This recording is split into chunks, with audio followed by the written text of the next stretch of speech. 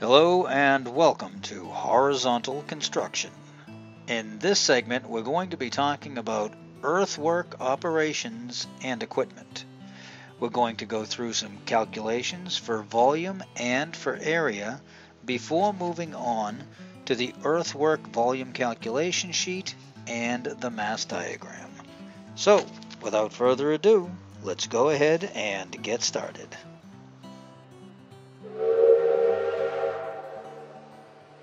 Every construction project is unique. Even when the contractor is experienced and considered an expert in their particular field, they will plan what needs to be done. This, in fact, is what makes them successful and makes them be considered an expert in the first place. They take nothing for granted. Whether they're a plumber, electrician, carpenter, mason, or any other one of the traits that make up this industry, planning is critical, and the successful traits and the successful contractors plan accordingly.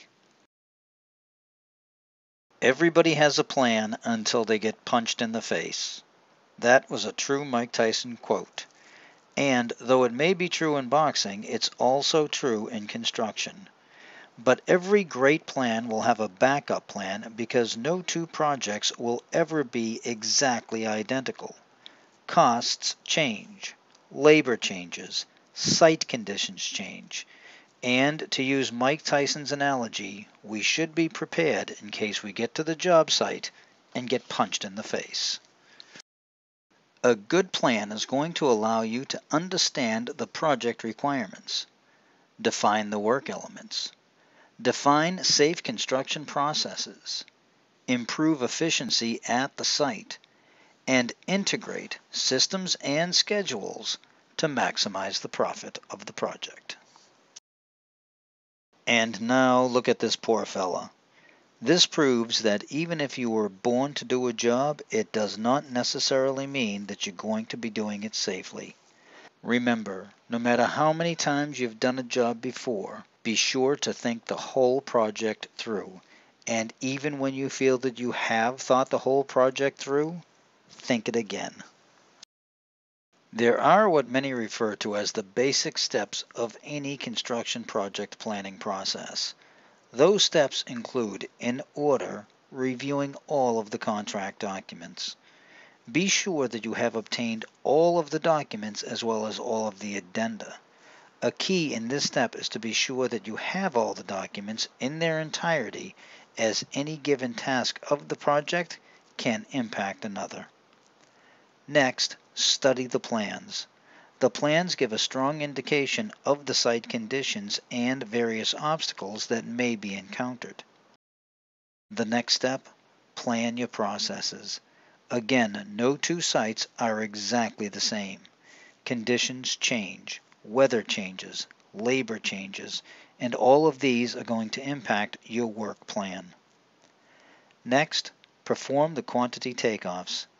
Understanding how much material is to be hauled in or hauled out in horizontal construction is not just the key to success, it is success. We'll talk about this in a few moments. And lastly, estimate your costs. Horizontal construction is usually earthwork construction, and this means that the costs are going to be per unit. The contract documents are the basis for every bid submitted.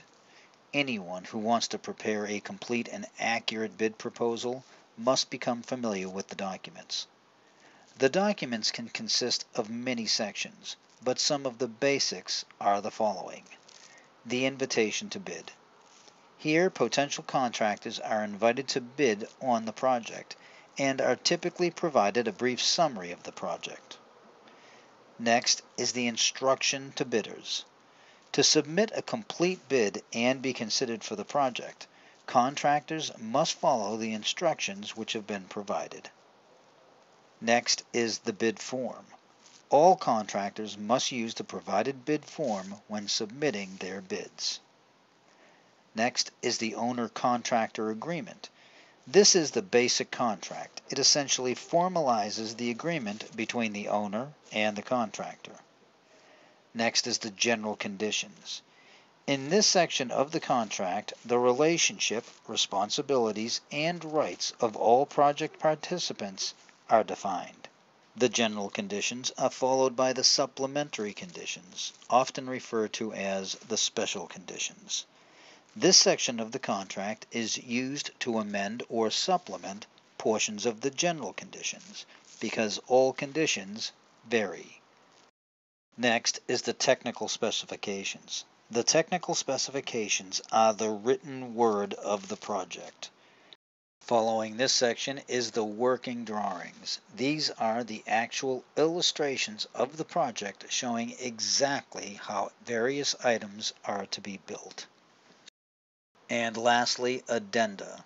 Addenda can be drawings or technical information that modifies the contract documents after they have been issued to bidders but before any bids have been taken. Unlike vertical construction, where a plan is put into place and can, in most cases, be executed, horizontal construction is different. Here, engineers are constantly getting feedback on possible site condition changes as the project progresses. Items such as the volume of stripping, whether or not we're excavating rock, embankment materials, waste, or soil excavation have to all be considered as the project continues. This is what's known as the quantity survey or quantity takeoff. During this time, the planner must make certain decisions, such as equipment needs, the sequence of operation, and the crew size. In the old days, it was fairly easy to know that you've taken on too much work. But today, things are different. So let's go through some horizontal construction planning from the beginning. So let's start by talking about presenting horizontal construction. In horizontal construction, distances are measured in what is referred to as stations. Stations are merely locations along the horizontal distance and are based on the 100 numbering system. This means that two distances adjacent to each other, or two stations adjacent to each other, would be 100 feet apart. The first station may be listed as 1 plus 0, 0, and the second station would be marked as 2 plus 0, 0. The term stations is what a surveyor uses when denotating in their book for laying out horizontal construction. Now horizontal construction is typically presented in three different views. There's the plan view, the profile view, and the cross-section view. The plan view looks down on the project. This view shows the center line of the project as well as the project limits. The project limits are shown as the dark exterior lines in the drawing. The profile view is a cut view along the center line of the project. The center line stationing is along the bottom horizontal scale. The vertical scale shows the elevations. The dashed line in this view is the existing ground elevations, while the solid line is the proposed finished grade. This is a cross-section view of the project. The left side of this slide shows a cross-section as a fill, while the right side of the slide shows the cross-section for a cut. The cross-section view is formed by a plane cutting the project vertically and at right angles to the longer axis of the project. The continuous line shows the final grade of the work and the dashed line shows the existing ground elevations. Now that we've reviewed some various horizontal construction views, we must literally dig into the calculations. When doing earthwork calculations, they are usually done in volumes. It involves the balancing of cuts in the roadway and fills in the roadway, and finally identifying the most economical haul routes for your materials. Earthwork is usually defined by various areas. They may be the area of a circle, the area of a square, or the area of a rectangle. These are the more simple areas to calculate. To calculate the area of a circle, it is pi r squared. Pi is a constant. It is the ratio of a circle's circumference to its diameter. It is typically replaced by the Greek symbol pi and is often approximated as 3.14, sometimes approximated as 3.14159, but it is much longer than that. We also have the area of a square, which is any side of the square squared and then the area of a rectangle, which is length times the width. Now again, earthwork also includes volumes. Therefore, to calculate any of these as a volume, we would calculate the volume of a cylinder as pi r squared times the height of the actual cylinder. The volume of the square would be any side of the square squared multiplied by the depth while the depth of a rectangle, or the volume of a rectangle, is length times width times the depth. When computing a cross-sectional area, contractors will take into consideration the time that they have available as well as their own planning tools. However, most larger companies will use commercial software packages to perform these calculations. However, such software tools may not be available, and therefore many people will subdivide these areas into various geometric shapes. These geometric figures can be calculated with formulas for areas not only for rectangles and squares, but also for triangles, trapezoids, stars, octagons, and other geometric shapes. Now when calculations must be made by hand, a triangle or a trapezoid area can be computed by using these equations. So if we had these dimensions for a triangle, that it's 4 feet at the bottom and has a height of 2 feet, we could quickly calculate the area as 4 square feet. Or let's assume we had a trapezoid, and this trapezoid was 6 feet wide at the bottom, 2 feet wide at the top, and had a height of 4 feet. Well again, using our equation, the width at the top plus the width at the bottom divided by 2 times the height of the trapezoid should give us a result of 16 square feet for the area of this trapezoid. So now, how good is your algebra? Let's assume that we have an area of 10.5 square feet. The width at the bottom of the trapezoid is 2 feet and the height of the trapezoid is 3 feet. What is the width at the top of this trapezoid?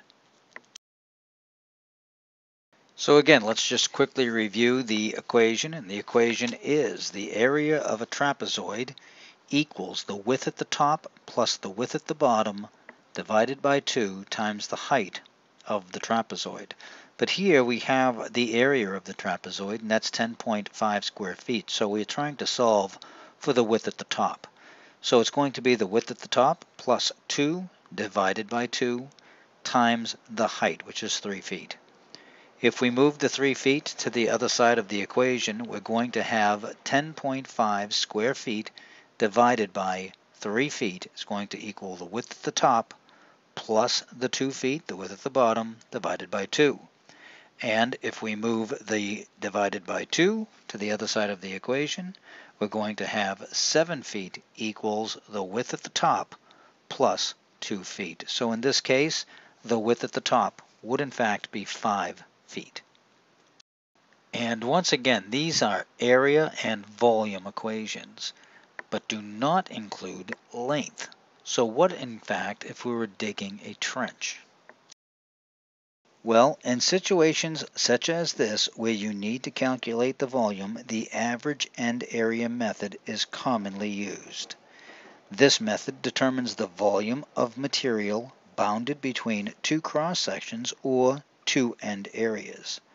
The principle is that the volume of material which is between two parallel or nearly parallel cross sections is equal to the average of the two end areas times the distance between those cross sections along the center line. But care must be taken because it assumes that the ground between the two end areas changes in a linear fashion. And here is the equation. It is area 1 plus area 2 divided by 2 times the length divided by 27. The 27 is a constant. It is the amount of cubic feet in a cubic yard. So based on the information that you've received and the equations that we've covered, could you calculate the amount of material between these two endpoints? So here we have two endpoints which are in the shape of a trapezoid and the first thing that we have to do is calculate our average end area. So we have to calculate the average area of A1 and then of A2. So the average end area of A1, again, is in the shape of a trapezoid. The width at the top is 5 feet, width at the bottom is 2 feet, and the height of the trapezoid is 3 feet. So therefore we should get an average end area of 10 square feet. At the other end of the trench, we have area A2. This trapezoid has a width at the top of 4 feet, width at the bottom of 2 feet, and a height of 2 feet, and therefore we should get an average end area of 6 square feet. So if we take the 10.5 plus the 6, it gives us 16.5 square feet. And if we divide that by 2, we should have 8.25 square feet. We want to multiply this by the distance between the two areas, which the diagram shows us to be 100 feet or 825, and then we want to divide this by 27, the amount of cubic feet in a cubic yard, and you should come up to approximately 30.6 cubic yards of material that needs to be excavated. But in that example, we were given the distance in between the two points. Going back to our previous discussion on stations, can you calculate the distance between these two station points? Well, here the distance is pretty simple. It is 51 feet. 1 plus 0, 0 is the 100 foot mark, and 1 plus 51 is the 151 foot mark. The distance between the two is obviously 51 feet. However, what about the distances between these two stations? So here one station is 105 plus 27 and the other station is 110 plus 41. What is the distance between these two?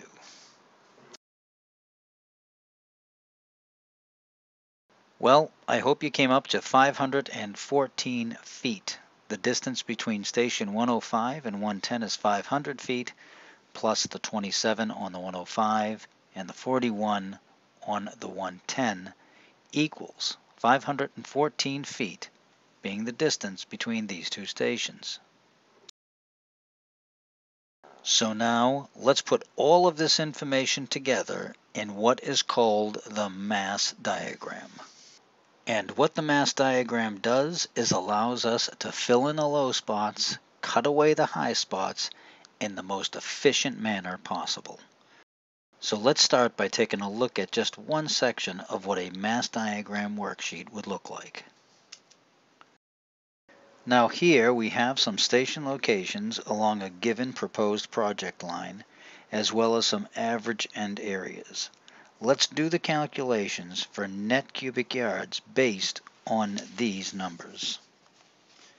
So if we take a look at the stations along the left-hand side, we have station 1, and the average end area for that location is 267 square feet.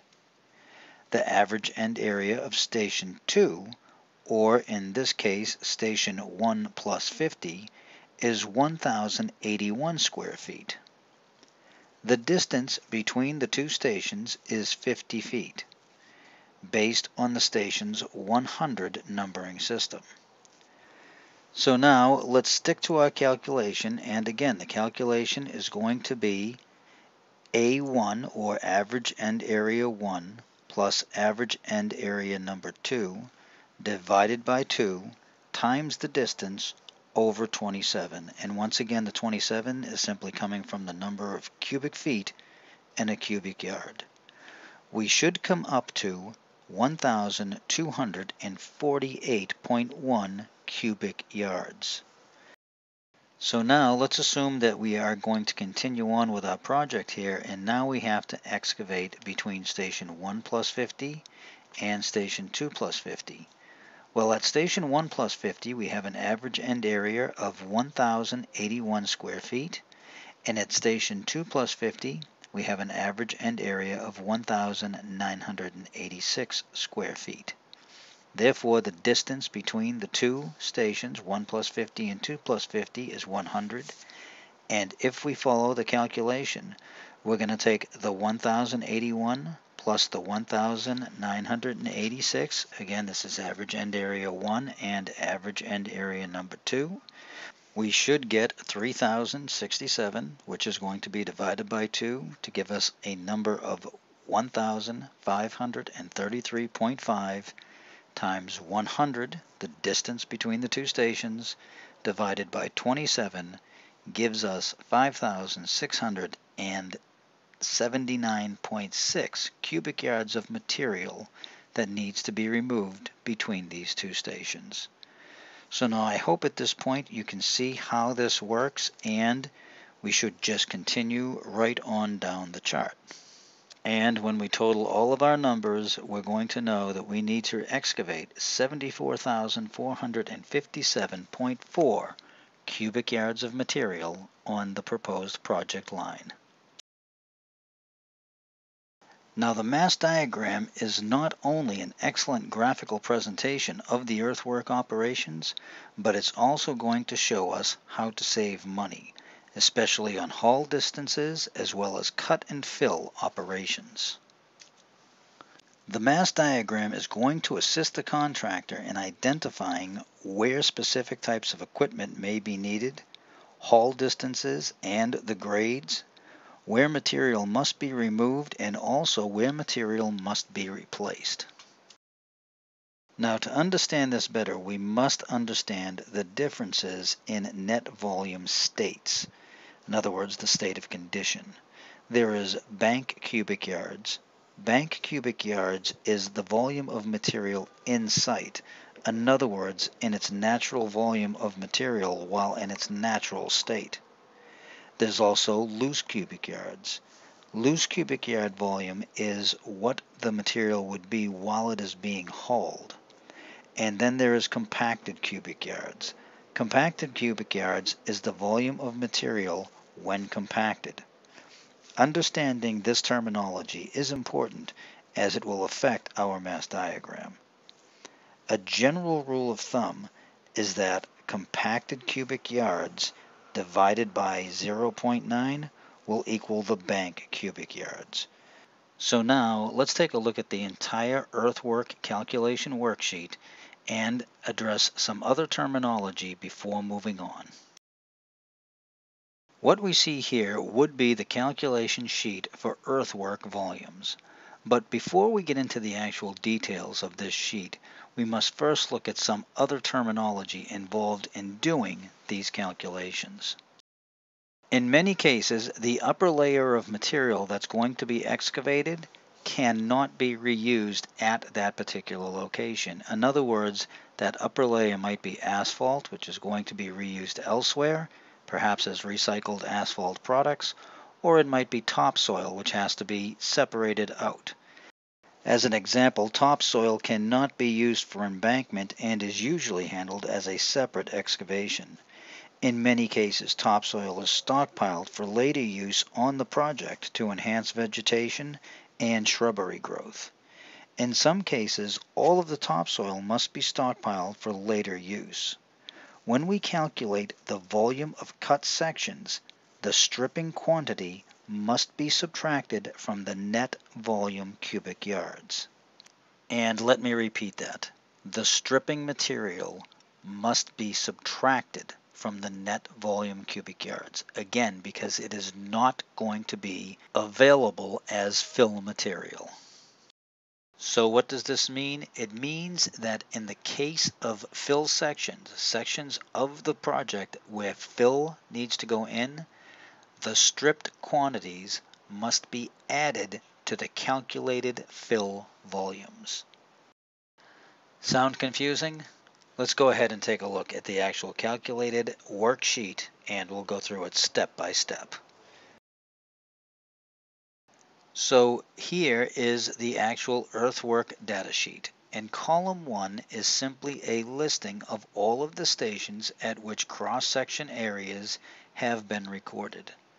As you can see, station 0 plus 00 is the first station. 0 plus 50 is the second station, which is obviously 50 feet away from the first station. Station 1 plus 00 is the third station. It's 50 feet away from station 2 and 100 feet away from station 1. Column number 2 is a cross-sectional end area of each cut at that particular station. This area is usually computed as we did just moments ago. Column 3 is also the average end area of the fill sections at that particular area or the station. This too is calculated, but it is worth noting that there can be a cut and a fill at the same station. This is going to occur where there may be a rise and then a steep drop-off in the elevations. Column 4 is the volume of cut between the two stations. It is important to note that this is bank cubic yards. So where are these numbers coming from? Well, let's go back to column number 2, which is the end area of cut volumes. And if we look at station 2 plus 0, 0, the average end area there is 0. However, the average end area at 2 plus 50 is 64. So if we take the 0 plus 64 and divide it by 2, we wind up with 32. And again, if we just go back to our calculation, average end area 1 is going to be 0. Average end area number 2 is 64 divided by 2 multiplied by the distance, which is 50 feet, divided by 27, we should wind up with the 59 cubic yards that is in this column. So 59 cubic yards will be cut between station 2 plus 00 and station 2 plus 50. Next is column 5, which is the volume of fill between the two previous stations. This is coming from column 3, and again, if we do a calculation, station 0 plus 00 had an average end area of 0, while station 0 plus 50 had an average end area of 115 square feet. So if we take these two numbers, divide them by 2, we wind up at 57.5 square feet. We're going to multiply this by the distance between the two stations, which was 50 feet. Divide this by 27, and we should get a result of 106 cubic yards of material at this particular location. And again, we have to note here that these are going to be compacted cubic yards. Compacted cubic yards. Next is column 6, and column 6 is going to bring us back to the discussion on stripping, and it is an important discussion. This is the volume of stripped material which must be removed. This column is commonly calculated by multiplying the distance between the two stations or fractions of the stations by the width of the cut. This provides the area of the cut footprint.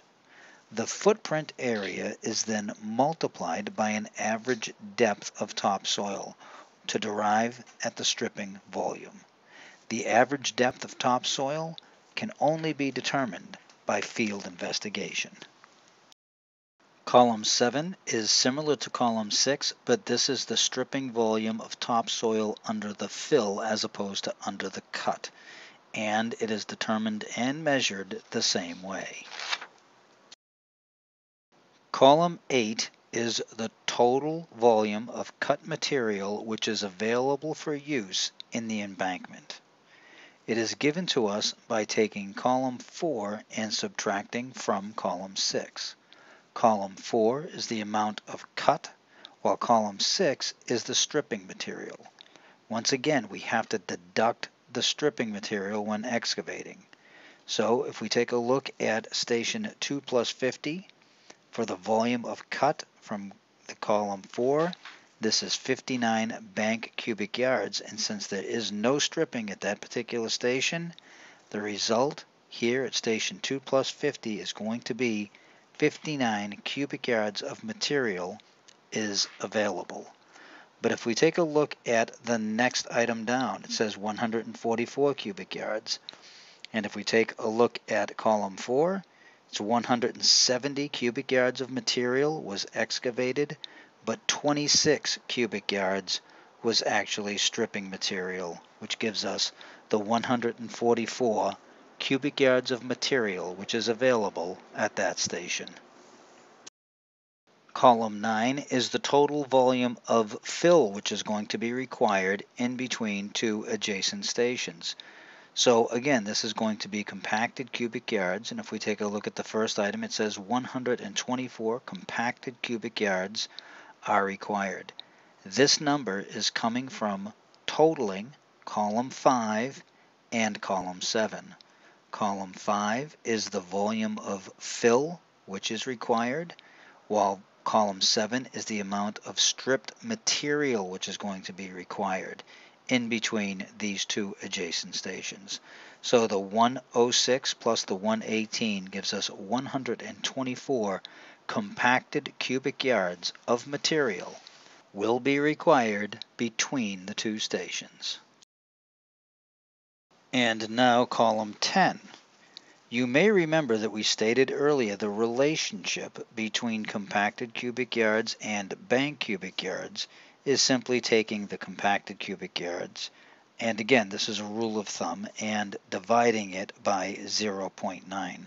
So here column 10 is simply column 9 divided by 0.9. This is telling us the amount of bank cubic yards which must be excavated because that is the amount of material which is required at these two adjacent stations.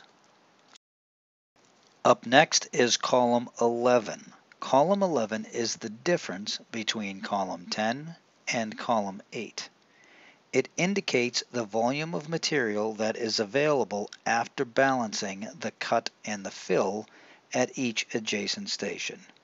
Remember, cut is going to be a positive because it's available material, while fill is going to be a negative because it is not available material. Therefore, the minus 138 at station 2, or station 0 plus 50, of 138 bank cubic yards is stating that 138 bank cubic yards are required at the two adjacent stations and when we compact them we will have 124 cubic yards which as you can see is column 9 and again is the required compacted cubic yards between the two adjacent stations. And our final column is column 12. Column 12 is the mass ordinate. It is the running total of all the values which are coming from column 11. So at the third station down, which is station 1 plus 0, 0, we have minus 405 cubic yards. This number is coming from the minus 138, which is at station 0 plus 50, plus the minus 267 cubic yards at station 1 plus 0, 0. And then we just simply continue down the chart adding these totals. And this is how we would begin to set up our mass diagram. Our horizontal scale or our X scale would be the actual stations, while the Y scale would be the number of cubic yards required between the two adjacent stations. Therefore, if we refer back to our earthwork volume calculation sheet, we needed 138 cubic yards of material at station 0 plus 50. So therefore we want to just go ahead and plot that on our mass diagram. In the end, we should have a running total that looks similar to this. This is the mass diagram, a running total of the quantities of material that is surplus or deficient along the project profile. An excavation operation produces an ascending mass diagram curve. The excavation quantity exceeds the embankment quantity requirements. Excavation is occurring between stations A and B and stations D and E. The total volume of excavation between points A and B is obtained by projecting horizontally to the vertical axis on the mass diagram line points at stations A and B and then reading the difference between the two volumes. Now if the operation is a fill situation, there is a deficiency of material and a descending curve is going to be generated. Here the embankment requirements exceed the excavation quantities being produced. Fill operations are occurring between stations B and D. The volume of fill can be determined in a manner similar to the excavation operation. The maximum or minimum points on the mass diagram where the curve transitions from rising to falling or falling to rising indicates a change from an excavation to a fill operation, or vice versa. These points are referred to as transition points. On the ground profile, the grade line is crossing the ground line. When the mass diagram curve crosses the datum or zero volume line, as it does at station C, exactly as much material is being excavated between stations A and C as is required for fill between stations B and C there is no excess or deficiency of material at that point in the project. The final position of the mass diagram curve above or below the datum line indicates whether the project has surplus material that must be hauled out or if there is a deficiency which must be made up by borrowing material from outside of the project limits.